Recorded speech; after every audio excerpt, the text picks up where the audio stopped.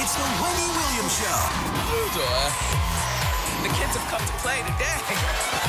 You won't believe what I'm about to tell you. With all due respect, have several seats. My girls are always turned out. I give it to you straight, no chaser.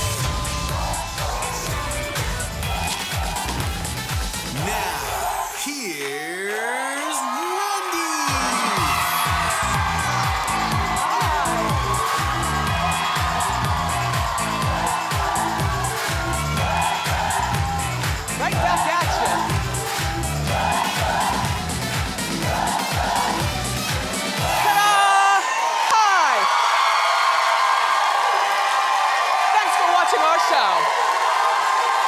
Those people are not just an audience, those are my co-hosts. Trouble. How you? I feel rested. Let's get started. It's time for Hot Topics.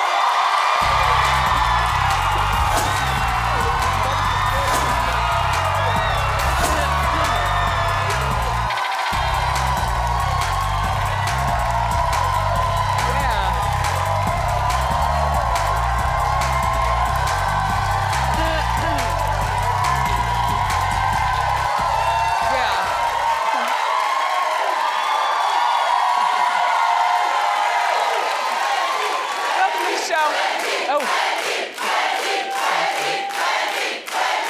Thank you. Thank you. Thank you.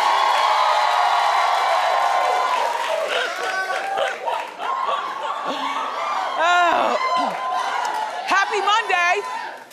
A shout out to everybody who put, who's already put up their Christmas decorations.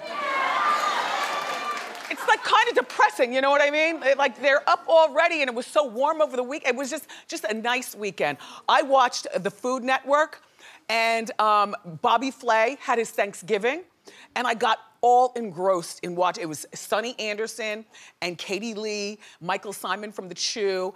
Alex was there, uh, Guarnaschelli. Alex, I got your last name correct. Alex, that cauliflower steak that you made as part of the dinner, I'm making that tonight for dinner. Yeah, no.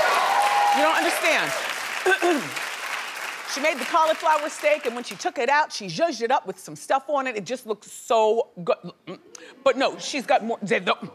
Okay? I would rather eat that than genetically modified salmon.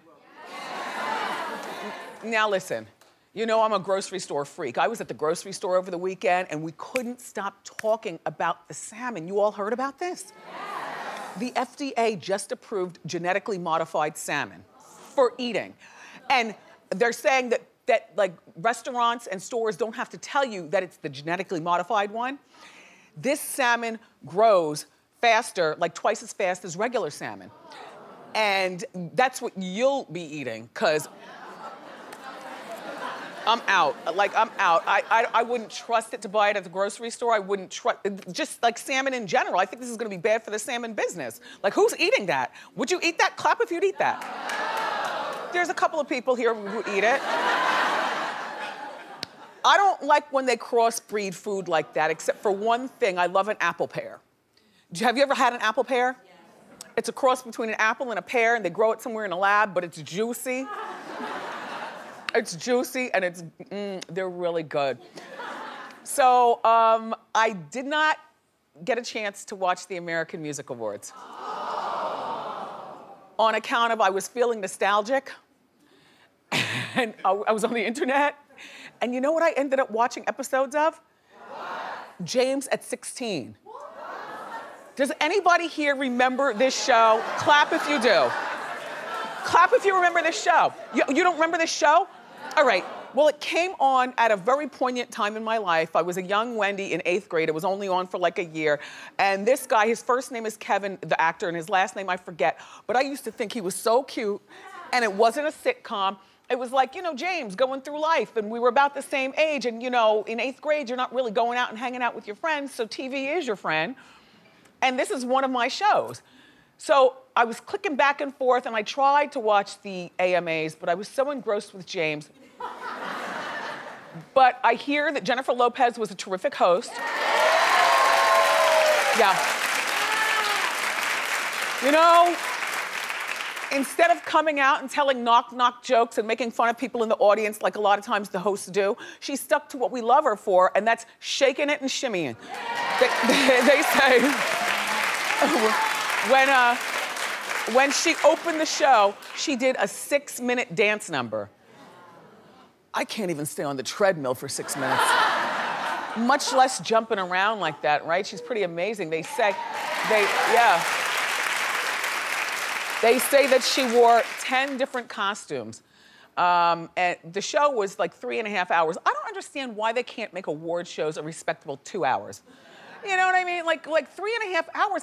It's almost like a turnoff to want to watch them when you know they're going to be so long because you have to be invested, and we have to get up and do a show in the morning, and I I'm busy. By the way, this dress right here, the first one, I almost wore it today on the show. oh, I love that.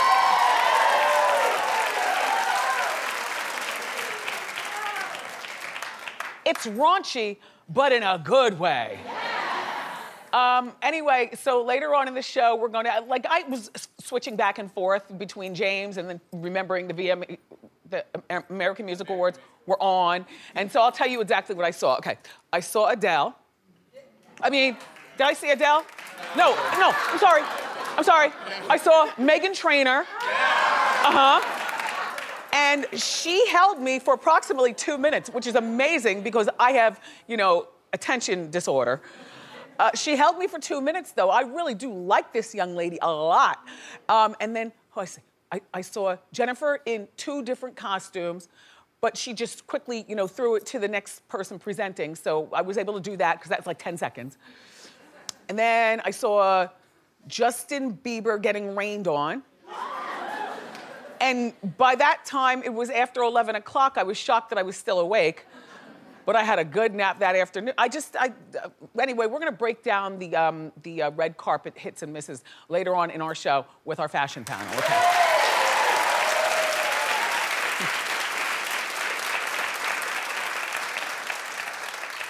Did you watch Saturday Night Live? Yes.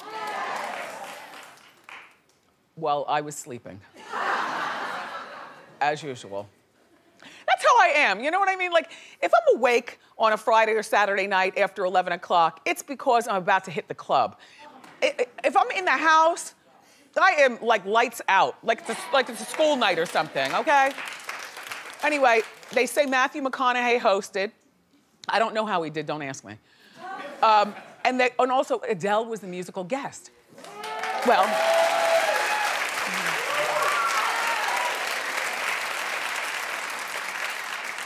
wow, she's lost a lot of weight. Do you know how thin you have to be to wear fringe from here down to here? Because, you know, it, it, it adds, a, fringe adds inches, you know what I mean? She looks terrific. Anyway, she stole the show, they say. Uh, she performed two songs from her album, 25. And it's on track, they say, to beat NSYNC's sales record for biggest opening week ever. Good for her. Good for her.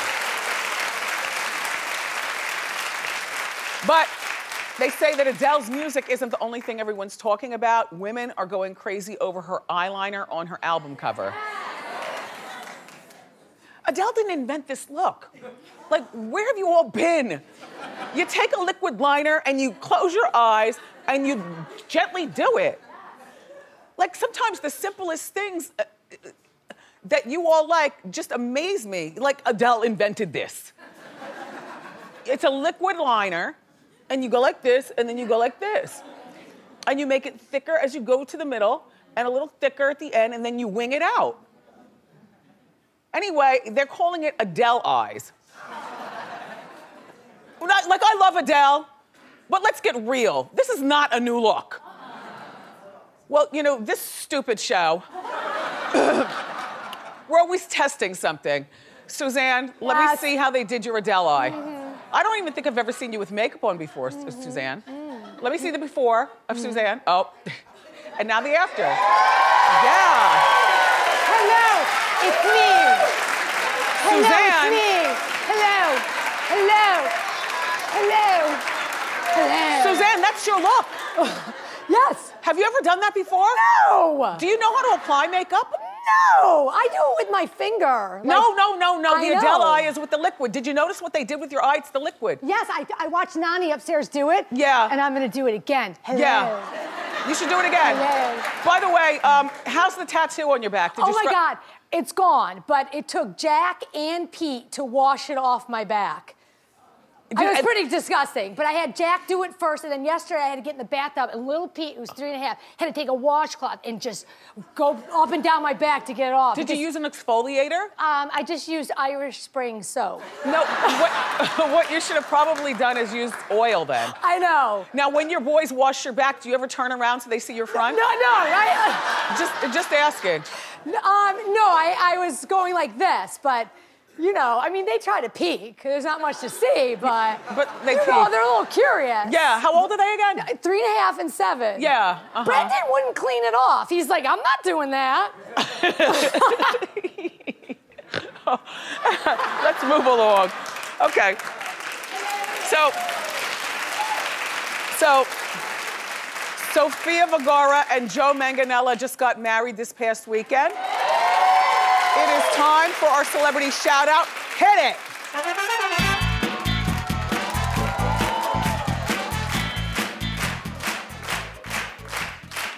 That is my jam. that's, that is my, that's my jam. anyway, um, Sofia married Joe at the Breakers in Palm Beach last night. Apparently, there was a whole weekend made of it, you know, with their friends flying in and stuff. There were 400 people there, and um, the, the, the flowers, they say it was a $4 million wedding. The flowers alone, they say the flowers alone were a million bucks.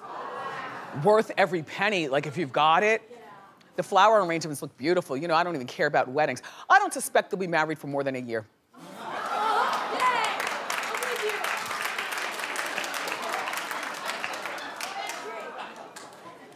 Let's talk about it. Okay. Now, Joe Manganiello, who probably at this point will never come here again because I'm talking. Joe, Joe, you know I love you, and I do recognize that we were the first talk show you ever did. You've been here several times. You are so handsome, and I totally don't think that you're an opportunist. However, you've gone for, he's gone from being a, you know, a known actor and very hot to now he's A-list because he's with her. But not in the way that I think he's opportunizing off of her. She, however, seems annoying as hell. Now, I, I love Modern Family, but I suspect her to be like wham, wham, wham about everything. Like, pay attention to me. And a real hothead who throws vases and breaks dishes when she fights, you know, and probably has a way about her where she bosses her man around to the point of like, you know, taking his privates off, like, like, just, you know what I mean? And he's gonna get tired of that. You know, like, I just picture her to be just way too much to deal with for more than a year quite, uh, no. I'll be honest with you. There were people in my Hot Topics meeting this morning who said that it wouldn't last for longer than three months. now, I would say it'll last longer than that, even though they might want it to stop at three months, but to save face, you know, they'll just, you know, keep it going for a year. And I'll tell you what, one of the big bones of contention, other than her being annoying and him being, look, he's he's just a rugged guy from Pittsburgh who lucked up, you know. And sometimes when you don't grow up, you know, um, in that diva-esque lifestyle, like he's just a, a man from Pittsburgh, such a nice man. Um, but another thing that's going to get in the way of their marriage, other than her attitude, I, I don't know her. This is all in my mind. Is Nick Loeb, the father of the two girls j- jumping rope in the petri dish?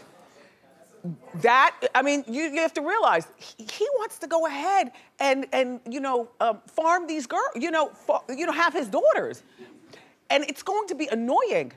And if she doesn't have kids with Joe, you know, and how old is she? Four- 43. 43, okay, so she has a moment. Although at 43, I don't know why people at 43 think it's just going to be so easy to have kids like that, but you know, I don't know. We'll be watching. I hope it does last longer than a year, but in my mind, it won't. Start the countdown.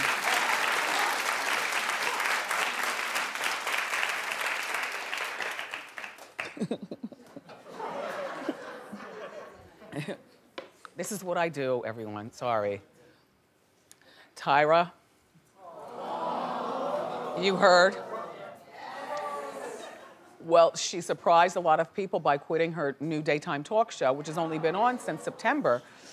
Uh, uh, only uh, after two months of the Fab Life, Tyra um, announced that she's leaving her show to focus on her cosmetics line. Well, you know, the show is called Tyra Banks Presents The Fab Life. So for her to be quitting to concentrate on her makeup line sounds like any excuse is better than none. Any excuse is better than none. Like, you know, like, what, uh, like, you, you, knew, you knew you were working on your, anyway, Tyra, listen. I didn't realize that you had a makeup line coming out. It just seems as though it's so long overdue. You know, she's been in the beauty business for so long, and now with America's Next Top Model um, ending for good um, on December 4th, and now with this talk show um, that she's left, so I don't know the future of the talk show. Um, I, I don't know these two girls here at the end. Um, I, I've met Josie uh, once before, and we know Chrissy Teigen, but if it's Tyra Banks Presents and then there's no Tyra, you know what? It's just, it's hard to probably be a co-host with other people, in my mind. You know, I'm so glad I'm the only one that sits here.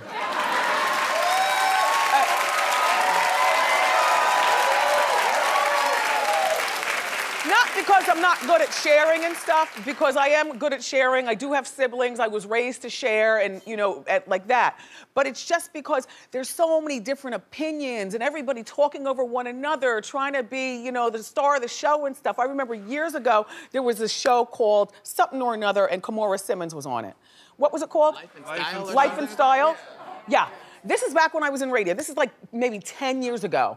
And I, more than that even. Well, Gee. Oh yeah, no, I had a road to hustle before finally getting a talk show. But but here's what happened. Um, there was this show, and Kimora was on it, and Selena Garrett or something or another. Garrett Yeah, uh-huh. and Jules Asner, She who's married to Steven Soderbergh. Remember, he, she used to be on the E channel, and it was it was like you know four or five girls, and I got called in, you know, to the main office to. Um, you know, interview to be on the panel. They really liked me. You know, my radio career was already popping. They were gonna be taping it here in New York, and I was like, wow, talk show. But when I got there, and you know, I liked the other girls, no disrespect to them, but I was the only one who had broadcast experience. So, you know, here goes me, because you know, I'm very opinionated. I'm like, okay, this all sounds wonderful, you know, but am I the Barbara Walters? like, let, let, let, let's just get it started. Every, every panel show's got to have a leader. And I was the only one who was already in media. Do you know what I'm saying? And so I wanted to, I wanted to be the,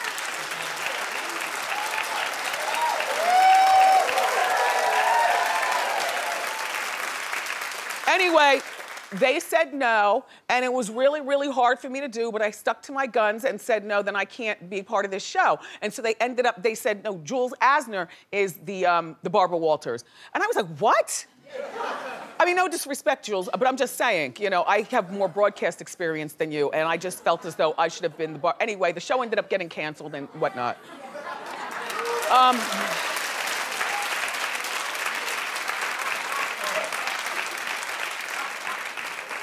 Maybe I had too much of a good night's sleep. What's the matter with me? Anyway, um, I'm sure that you've all seen the viral video of the man singing Patti LaBelle about the sweet potato pie. Well, in case you've been passed out for the last week, I've got it for you to see. Just take a look at part of it. Patti. If anybody know Patti LaBelle, tag her in the video. Patti. Whoa, yeah. That turned into Patti. You turned into Patti after eating this. Okay. It's so cute. So the video went viral and over 10 million people have seen it. The, the, the pies, by now you know, are not even available at Walmart anymore. They won't be restocking them until sometime in December. Um, Patti is making people mad because people think that she should be giving him credit, you know, or money or a job or something or another. Well, I've got an opinion about this too. Um, but just take a look because TMZ caught up with Patti Um, and and just take just take a look. Patti, how, how's the pie sales going? I gotta ask, how good is pie sales? Really wonderful. Do you- are, you gonna, you. are you gonna use him for more? Are you gonna ask him to do more stuff for you, that guy? I did it myself. Well, okay, I love Miss LaBelle, but I had no idea that she had pies. So when she says she did it herself, she might have, you know, had the recipe, but this guy really took it over the top.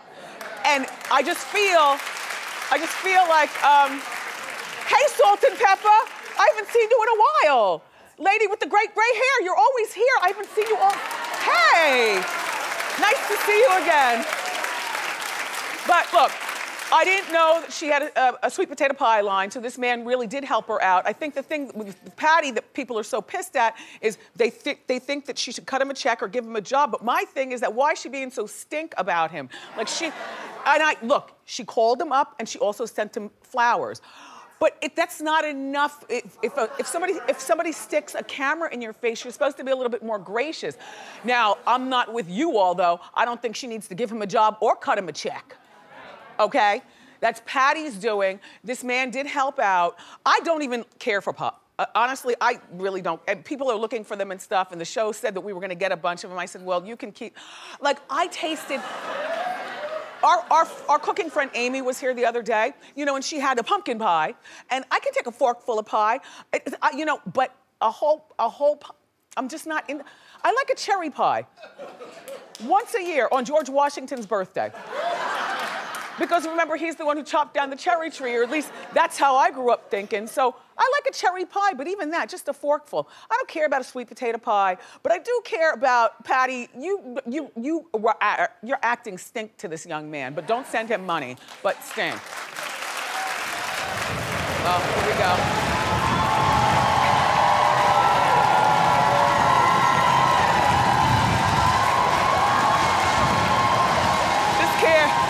Wig can't take any more wind. My hairstylist Antoine is someplace backstage saying, "Oh no, don't do it." Okay, okay, it's windy. That means it's time for Wendy's windfall. Let's see what Suzanne's wearing today. Come on, Suzanne. Oh. Hello.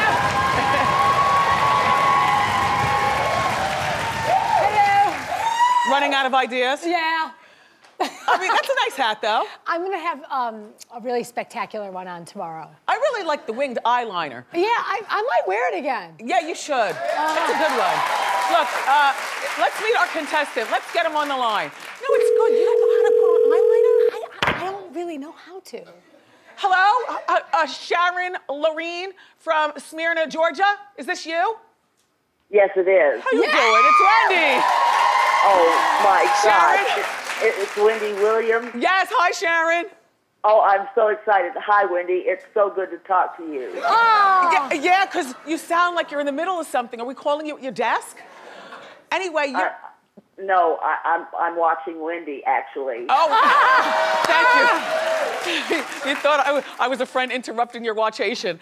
Anyway, listen, uh, Sharon, you are Wendy's Windfall contestant today. Have you been watching our show every day on WAGA in Smyrna? Absolutely every day. I wouldn't miss Wendy for anything. Thank you, Sharon. Go ahead, Suzanne. Spin the wheel for Sharon. Go! Big